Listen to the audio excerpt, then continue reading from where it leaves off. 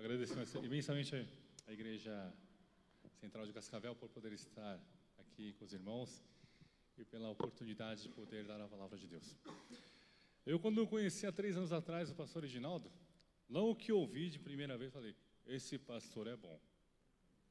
Irmãos, né, as mulheres um, dizem que elas têm a intuição feminina, né? É algo parecido. Quando eu li o pastor Reginaldo, falei: esse pastor deve ser bom. Né?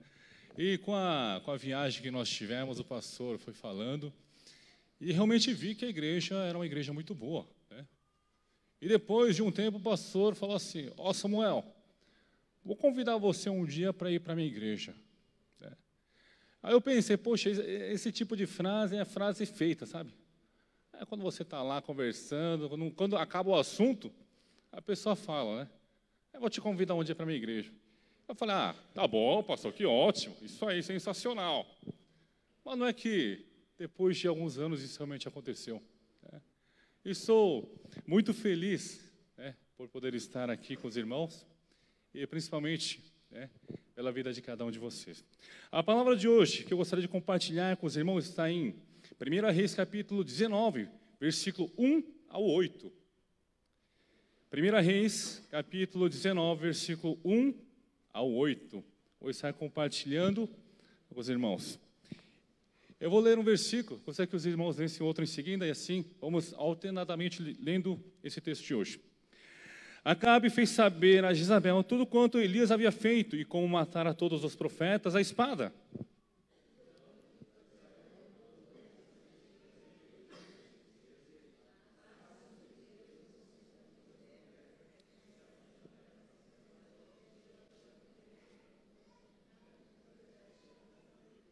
Temendo, pois, Elias levantou-se para salvar sua vida, se foi e chegou a Berseba, que pertence a Judá, e ali deixou seu moço.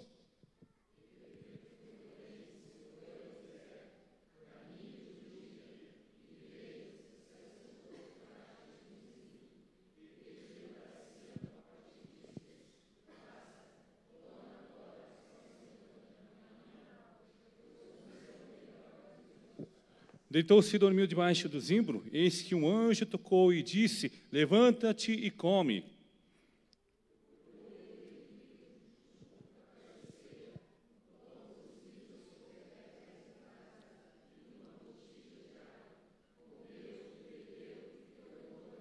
Outra segunda vez, o anjo do Senhor tocou e lhe disse: Levanta-te e come, porque o caminho te será sobre modo longo.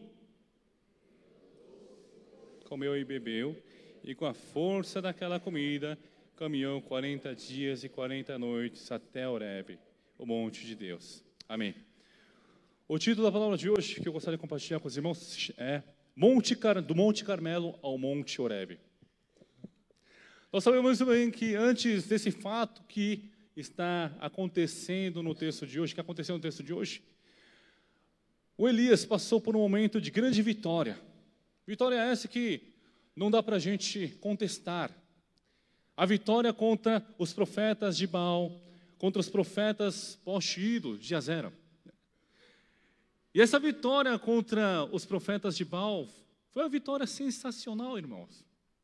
Você olha no texto, no capítulo, no capítulo anterior, o capítulo 18, mostra uma vitória imensamente poderosa para mostrar para todas as pessoas o quanto Deus, esse Deus que Elias estava servindo, era poderoso e inagualável.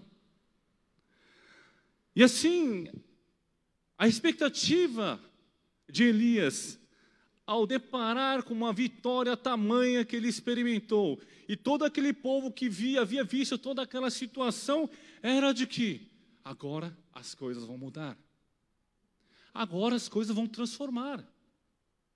Agora as coisas vão ser diferentes de como era antes. Porque todo o povo viu. Todas as pessoas viram. E todas aquelas que não viram vão ouvir, as, escutar as notícias desse feito maravilhoso de Deus. E assim veremos este lugar mudar e ser transformado de uma maneira maravilhosa. Mas o fato é que nada foi realizado conforme a expectativa de Elias. Pelo contrário, nós vemos no texto de hoje, capítulo 19, que ao Acabe, o Acabe, rei Acabe, conta tudo o que havia acontecido a sua mulher Jezabel. Conta a ele tudo quanto Elias havia feito de do texto. Veja.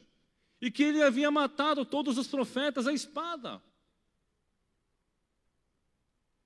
Imaginamos que ao receber essa notícia, Jezabel fosse dizer: Vamos mudar, porque esse homem está servindo ao Deus verdadeiro.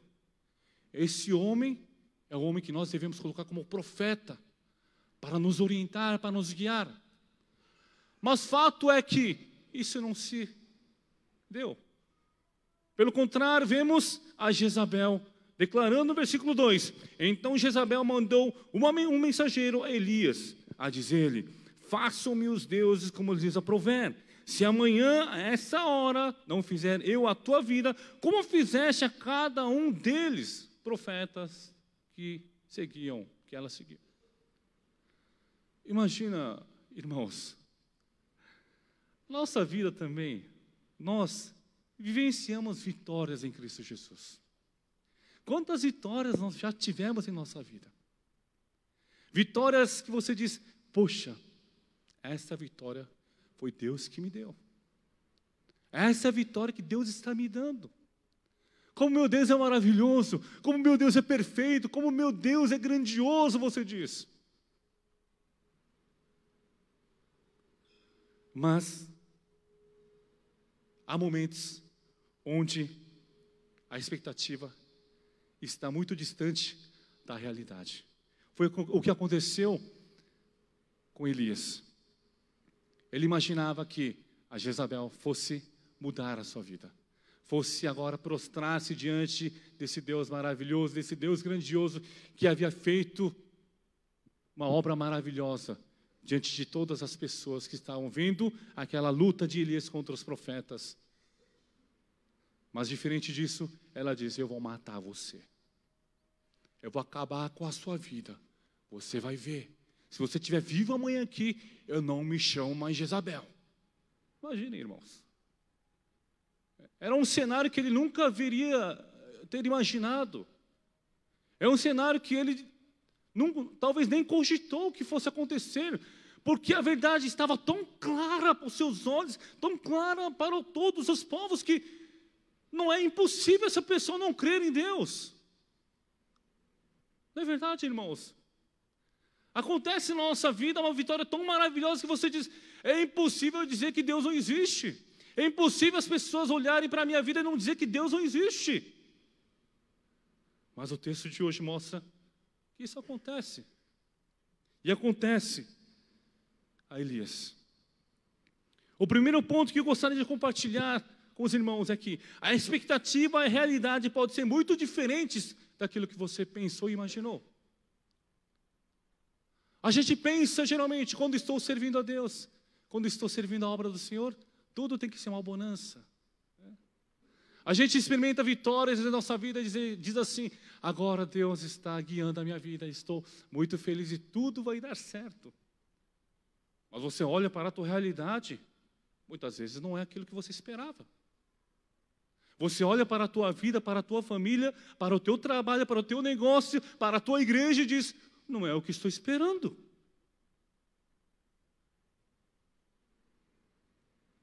Mas veja o texto de hoje.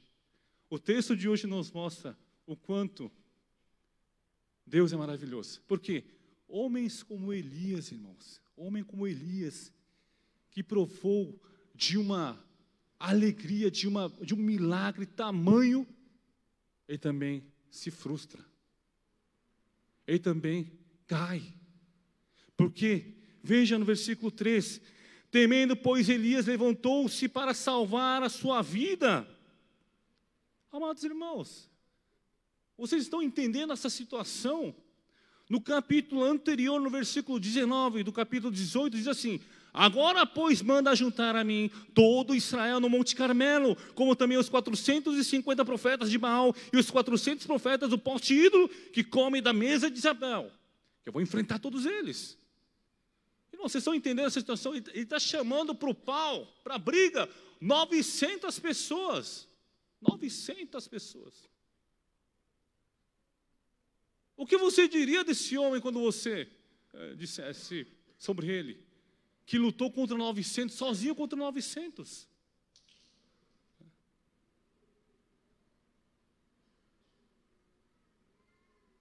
Mas esse homem que havia enfrentado 900 profetas de ídolos, agora está temendo a sua morte. Por causa de uma ameaça da esposa do rei Acabe. Diz assim: temendo, pois Elias levantou-se para salvar a sua vida e se foi e chegou a Berseba, que pertence a Judá, e ali deixou seu moço. Irmãos, tem momentos na nossa vida, tem momentos em nossa vida espiritual, mesmo sabendo da existência de Deus, ficamos temerosos, ficamos com medo, ficamos distante das coisas espirituais, querendo fugir de Deus, porque a frustração está tomando conta do meu coração pela expectativa, pela realidade que você vê, você se frustra. A frustração toma conta do teu coração. É o que muitas vezes acontece conosco. Talvez haja líderes aqui de pequeno grupo. Né? Aqui a Igreja Central de Cascavel tem pequenos grupos. Né? Esses líderes de pequenos grupos fazem um sacrifício danado, não, irmãos? Para poder a preparar né, o conteúdo para compartilhar. Não somente isso, para poder se reunir, dedicando o seu tempo. E você diz: Poxa, preparei tão bem. Mas por que as pessoas não estão recebendo a palavra como estou imaginando? Principalmente quando a igreja pratica o discipulado. A igreja Água Viva faz discipulado, irmãos. E o processo de discipulado é muito árduo, muito difícil. O processo discipulado leva em torno de dois a três anos para você formar uma pessoa. Imagina, irmãos. Você, para formar alguém que possa vir a ser a líder dentro de uma igreja, você trabalha por dois, três anos. É uma realidade muito distante daquela que nós estamos vivendo, porque estamos vivendo nos dias de hoje um imediatismo né? muito sério. Tudo tem que ser rápido, tudo tem que ser instantâneo. Trabalhamos dois, três anos é, arduamente, irmãos. É, os pastores que fazem discipulado devem saber o quanto, o quanto é difícil. E tem horas que eu vejo alguns irmãos, é, eu vejo quanto essas pessoas estão mudando, fico feliz. Aí fico animado, poxa, esse irmão está mudando. Nossa, esse irmão está sendo transformado. E vejo, pelo contrário, outros irmãos que parece que, se, que estão se perdendo no caminho. Se perdem no caminho depois de formados, ao invés de se dedicarem mais à igreja, ficam cada vez mais distantes do Senhor. Então imagina a frustração de uma pessoa que dedicou dois anos, irmão, dois anos, dois anos, dois a três anos, a vida daquela pessoa. A gente encontra uma vez por semana e temos o estudo durante duas horas em média, duas a três horas em média. Imagina, irmãos. É muito tempo dedicado. A frustração que toma conta do coração é imenso. Aí você diz, eu digo, Senhor, eu sou muito triste, Senhor, sou frustrado, porque aquele irmão que eu pensei que fosse tão bom, que seria um, um líder exemplar, né? um líder excelente, ele está se perdendo. É nesse momento que você chega ao teu coração, poxa, dá vontade de parar dá vontade de não ser mais pastor. A frustração toma conta de uma forma tamanha, irmãos. Mas o Senhor diz ao meu coração: Samuel, você é pastor, rapaz. Aí eu digo: sim, Senhor. Você é pastor, sim. Senhor, então me dá o cajado, que eu vou dar umas pauladas nessas ovelhas. É a vontade que a gente tem. Nós não devemos deixar com que a frustração tome conta do nosso coração, pois o resultado do ministério está nas mãos de Deus, amados irmãos. O resultado do ministério que vocês fazem aqui, veja, eu vi quantos ministérios legais aqui, irmãos. Eu pensava que só o pastor Couto tinha ideias boas, Mas eu vejo que a igreja central, o pastor original tem ideias muito boas também, sensacionais. É, moço. Eu vejo que o pastor original também é vanguardista, né? está à frente, o pensamento à frente. Claro que né, guiado pelo Senhor. Imagina quantos ministérios vocês têm aqui. E quando aquilo não dá certo, a frustração que toma conta do nosso coração. Mas você tem que saber, amado irmão, que o ministério que você serve, o ministério que você faz, está nas mãos de Deus.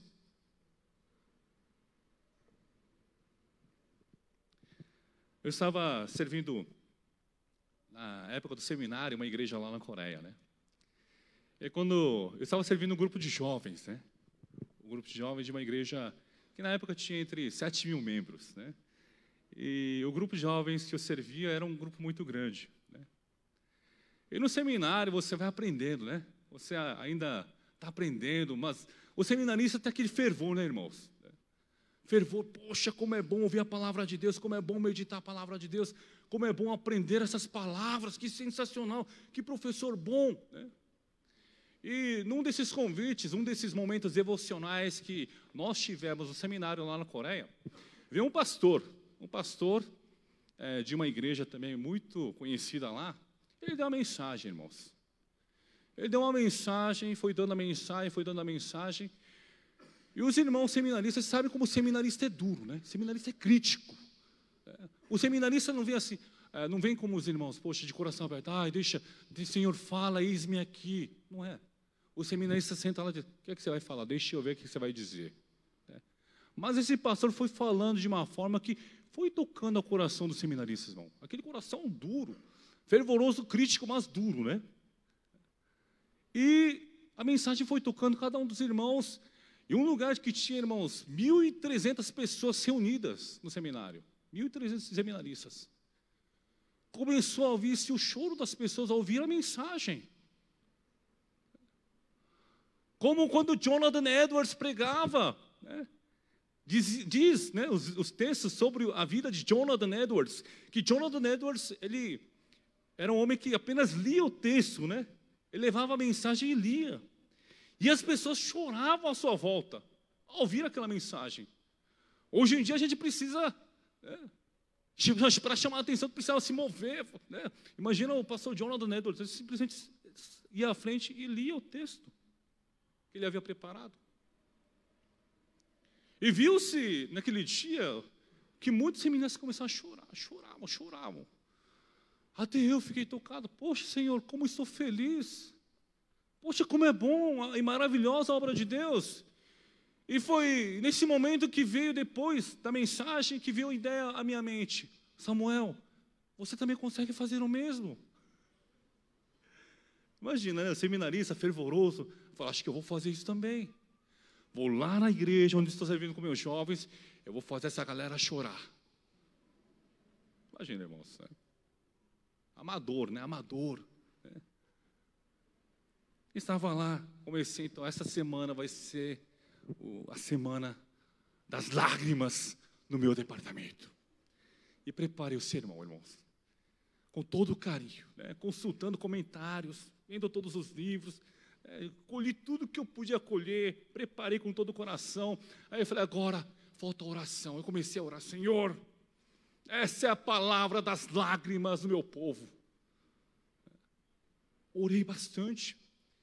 E foi para o encontro de jovens, né, preparado. Né.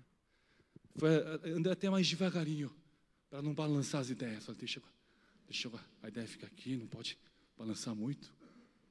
E comecei a dar a mensagem. Dar a mensagem. Irmãos, quando você né, está na frente, você percebe pelas reações se as pessoas estão recebendo ou não a mensagem. Né? Mesmo que você seja um seminarista amador, você percebe. E quando estava dando a mensagem, ao invés do, do olhar dos meus irmãos jovens da igreja, ficarem, poxa, que bom, amém, pastor, que mensagem boa, sensacional. O rosto, o semblante desses jovens era indiferente. Eles estavam assim, hum. é como alguns dos que estão agora assim, né? Hum, é. Indiferente. Irmãos, comece, eu comecei a suar nas costas. Falei, o que, que é isso, Senhor? O que, que está acontecendo aqui? A palavra está maravilhosa. E como é que eles não estão aceitando essa palavra? Como é que essa palavra não está transformando a vida deles? Depois, passado um momento de desespero, eu falei, eu falei, acabou. Estraguei tudo hoje aqui. É. Deus não me ajudou. Eu falei, Deus não me ajudou. É.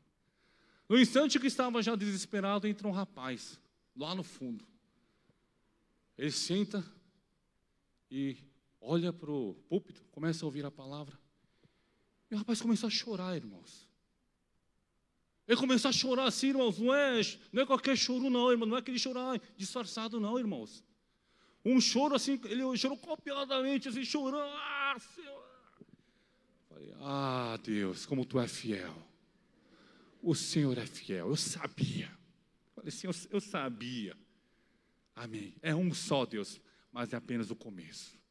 Irmãos. E ao terminar o culto, né? Eu consegui fazer um chorar, né? Um irmão chorar. Mas falei, é, para o primeiro dia, para um primeiro dia está ótimo. É. Agora na próxima eu vou caprichar mais. Eles vão ver. Aí eu chamei o presidente do João e falei, vai lá, ó, vem aqui. O rapaz ali chorou demais. Ele precisa de um cuidado. Consola ele. A mensagem foi forte. Consola, vai lá consolar ele. Aí o presidente, pastor, tá bom. Pastor, foi lá, seminarista, tá bom, vou lá. Começou a falar. Começou a conversar com ele. Eu fiquei ó, só observando, né? Rabo de olho, assim, olhando, né? Ó, tá tudo certo, ó lá. Ó lá, a palavra tocou.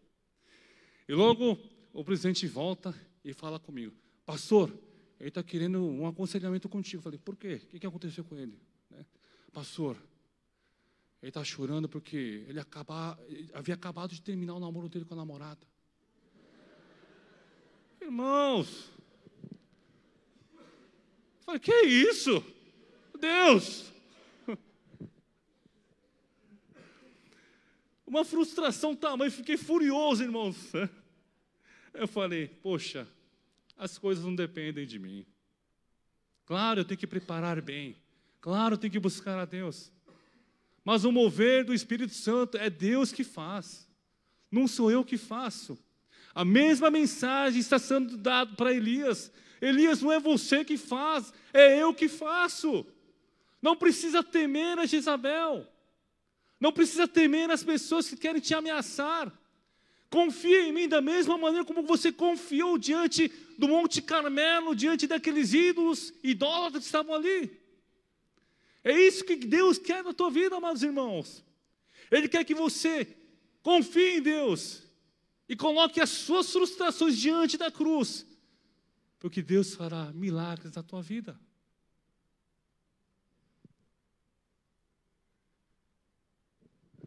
Eu tenho uma filha, é, eu vi a notícia através do, dos irmãos né, que servem o departamento infantil, que o índice de mortes de, de criança aqui na região é alto, né?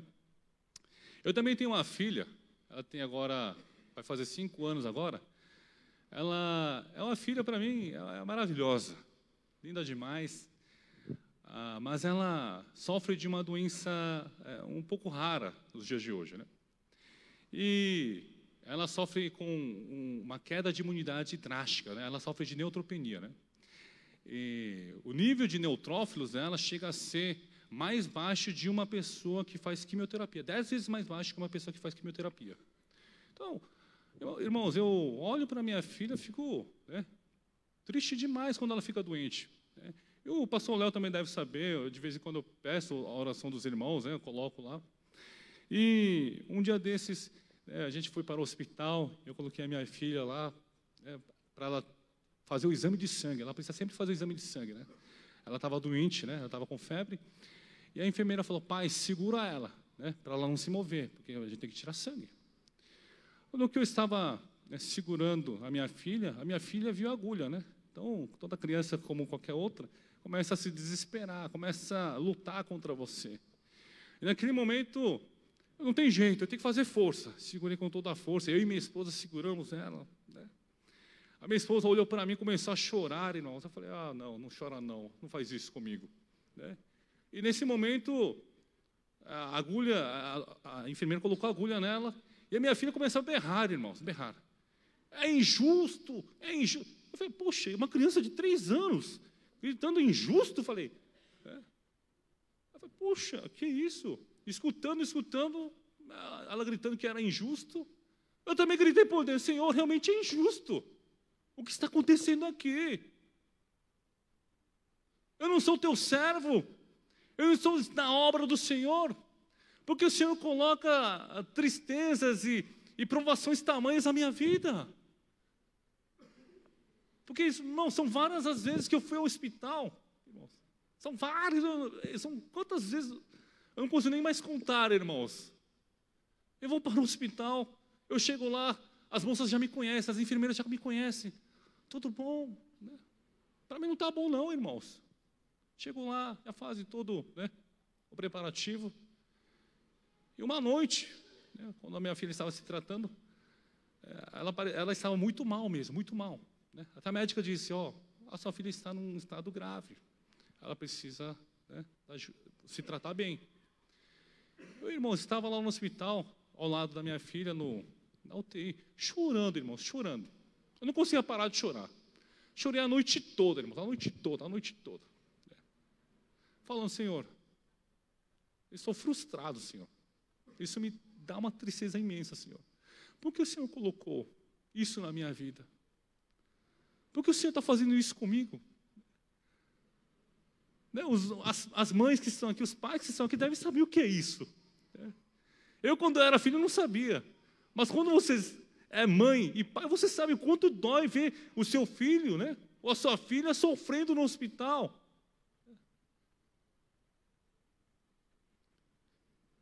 Mas depois que ela melhorou, irmãos, ela vai melhorando, né? Vai se tratando, depois ela melhora. Ela não pode nem frequentar a escolinha, irmãos. Porque, principalmente nessa época do ano, porque todas as crianças estão gripadas, resfriadas e acabam passando para ela. E ela, no final das contas, tem imunidade baixa, para ela pode ser algo muito mais grave do que para outra criança. E ela vai ficar em casa, irmãos.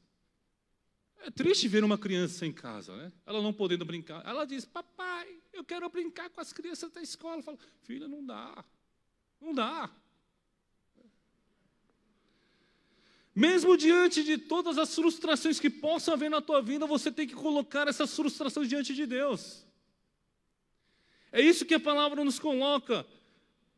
Porque Elias, diante de uma frustração que estava atravessando sua vida, ao invés de colocar nas mãos de Deus, ele fugiu, fugiu para o deserto.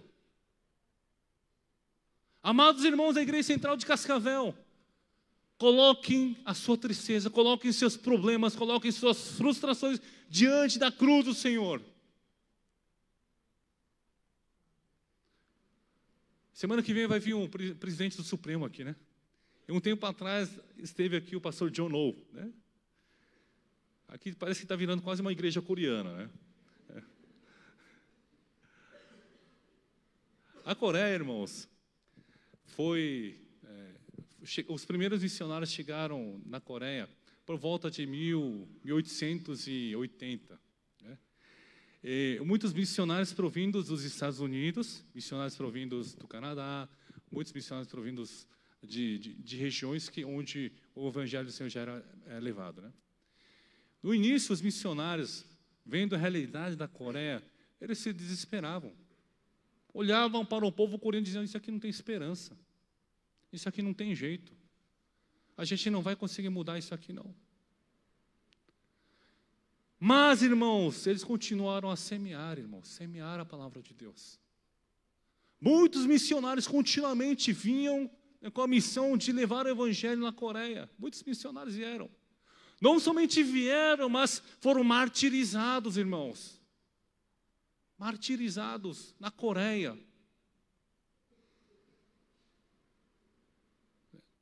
Hoje em dia, né, existem missionários, né, chamam missionários Nutella, né, os jovens, né? Nutella. Aquele missionário que só faz a fundraising, leva a grana, aproveita a região, né, mora na melhor casa da região. Não, não, é mora, desfruta de todo o prazer que a região pode dar, né? faz a igrejinha. E quando acontece algum problema de saúde, volta para o país para se tratar. Veja, essas pessoas não tinham nem, nem tinham como voltar, irmãos. Eles tinham que ficar lá. Na Coreia você tem um cemitério dos missionários. Missionários estrangeiros, até os nossos jovens, quando estiveram lá, visitaram. Centenas de missionários morreram martirizados e estão lá. A tumba deles está lá. Enquanto que nos dias de hoje, todo mundo quer trazer de volta. Tem um louvor na Coreia, nessa missão, que diz assim: Senhor, eu vou enterrar meu osso no lugar onde você me colocou para servir. E assim, através desses missionários que foram martirizados e que sofreram, a Coreia se levantou, irmãos. A Coreia se levantou de uma maneira tamanha que, em 1907, muitos foram convertidos ao Senhor, foram transformados ao Senhor. No início, a situação era desesperadora. Mas essa situação desesperadora foi transformada pelo mover de Deus na vida dessas pessoas, pelos missionários que levaram e semearam o Evangelho de Deus. E se você for observar lá na Coreia agora, irmãos, as melhores faculdades, os melhores hospitais são os hospitais e faculdades fundados pelos missionários. Hospital Severance, hospital fundado por missionários. A, maior, a melhor faculdade feminina Ihwa University é fundada por missionários. Uma das melhores faculdades da Coreia, Yonsei, foi fundada por missionários. Veja, irmãos, naquele momento, naquele instante, o coração deles estava talvez frustrado, vendo a realidade em que se encontrava. Mas aquilo que eles semearam foi colhido, porque anos depois, o milagre do avivamento, do despertamento na Coreia aconteceu. E hoje em dia, a Coreia é o segundo país com mais missionários enviados ao mundo, depois dos Estados Unidos. Eu penso, o Brasil. Dizem que o Brasil é o terceiro ou quarto. Eu desejo que o Brasil alcance a Coreia. Eu desejo que o Brasil passe, ultrapasse até os Estados Unidos. Porque o Brasil, irmãos, é um povo caloroso, um povo que tem amor, um, um povo que tem né, alegria. Sim ou não, irmãos? Acho que não.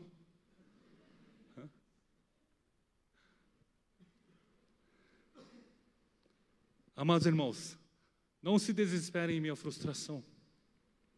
Coloquem nas mãos de Deus, pois o ministério está nas mãos do Senhor. O terceiro ponto que eu gostaria de compartilhar é: experimente o consolo de Deus. Ele fará você se levantar novamente para continuar a sua caminhada. O versículo 5 da palavra de hoje diz assim: Deitou-se e dormiu debaixo do zimbro, e eis que um anjo tocou e lhe disse: Levanta-te e come. Veja, irmãos. Esse homem estava desesperado. Esse homem estava querendo morrer. Diz o versículo 4: Ele mesmo, porém, se foi ao deserto, caminho de um dia e viu, se assentou debaixo de um zimbro e pediu para si a morte e disse: Basta, toma agora, ó Senhor, a minha alma pois não sou melhor do que meus pais. quero morrer. Chega desse sofrimento, dessa frustração. Ele se deita, e quando ele se deita debaixo do zimbro, eis que um anjo tocou-lhe e disse: Levanta-te e come. Irmãos, existe algo que consola mais ao nosso coração ouvir essa, do que ouvir essas palavras? Ele estava querendo morrer, irmãos. Ele estava pedindo para que tirasse a sua vida. Mas quando ele se deita, vem o anjo do Senhor e diz: Levanta e come. O que isso quer dizer, irmãos? O que isso quer dizer, irmãos? Que o teu tempo não é agora. Você tem obras para fazer, tem mais coisa para trabalhar, irmãos. Tem alegria maior do que isso? Tem alegria maior do que isso, amados irmãos. Está deixando claramente, Elias, você ainda precisa continuar. Eu vou fazer obra através de você, vou usar a tua vida para fazer coisas sensacionais e grandiosas na vida de outras pessoas. Essa mesma mensagem está dando para a igreja central de Cascavel. Não se frustre, não se desespere, mas alimente-se, edifique e fortaleça, pois vou usar vocês. Vou usar a igreja de Cascavel para fazer a obra do Senhor.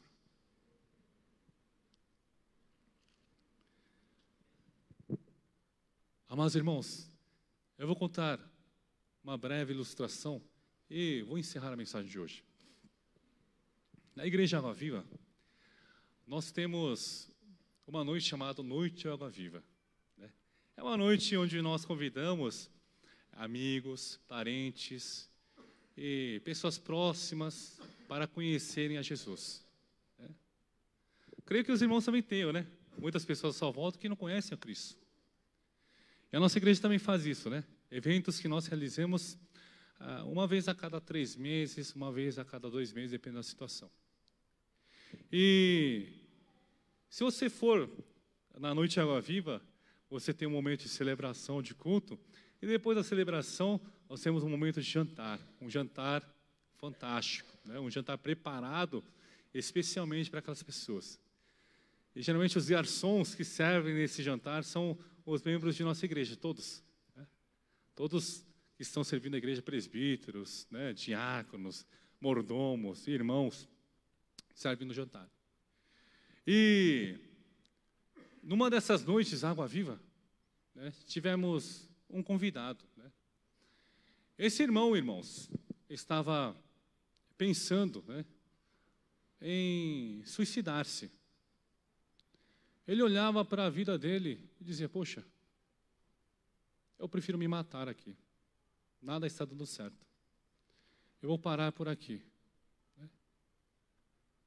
Mas foi nesse dia onde ele estava pensando em se matar, que ele recebe uma mensagem chamando ele, convidando ele para uma noite água viva. E ele tomou a decisão: acho que eu vou nessa noite água viva. Essa vai ser a última vez. Se nessa última noite que eu vou conhecer essa igreja, eu não for tocado, eu vou me matar. Imagina, irmãos, né? E assim, ele viu a noite água viva, essa noite de celebração que nós tivemos. Pela graça de Deus, o coração dele foi tocado. O coração dele foi tocado para continuar na nossa igreja e continuar também para servir a obra do Senhor. E esse irmão continuou na nossa igreja, servindo a Deus. Um homem que queria se matar, um homem que queria acabar com a sua vida. E esse irmãos, esse irmão que eu estou falando, irmãos, ele está aqui conosco. Ele é um milagre. Para mim, eu olho para ele, é um milagre, irmãos. Não é verdade, irmãos? Uma pessoa que estava pensando em se matar, mas encontrou a Cristo, encontrou a palavra, encontrou a Jesus, e houve uma transformação na tua vida. Pois hoje, Ele está aqui conosco, e também Ele deseja entrar no seminário para servir outras pessoas. Glória a Deus.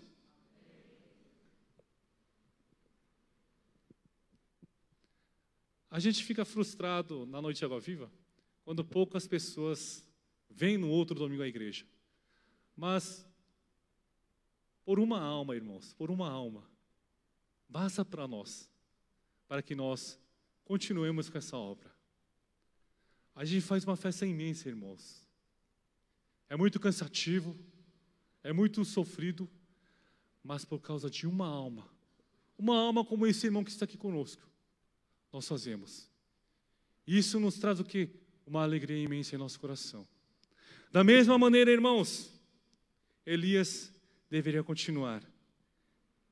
Versículo 8 diz: Levantou-se, pois, comeu e bebeu, e com a força daquela comida caminhou 40 dias e 40 noites até Oreb, o monte de Deus o monte de Deus, Monte Oreb, o Monte Sinai, onde agora ele receberia as instruções para continuar o teu ministério.